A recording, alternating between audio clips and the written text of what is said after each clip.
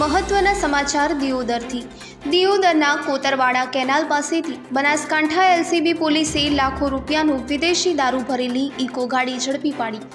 બનાસકાંઠા જિલ્લામાં એક બાજુ સ્થાનિક સ્વરાજ્યની ચૂંટણીનો જંગ જામ્યો છે.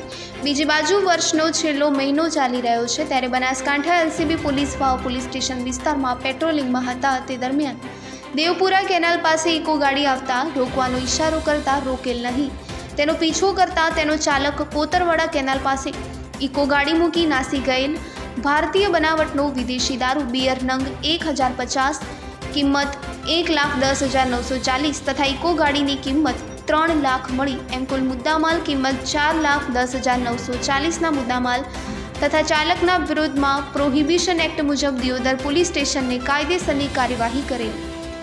બનાસકાંઠાથી દશરથભાઈ પ્રજાપતિનો રિપોર્ટ.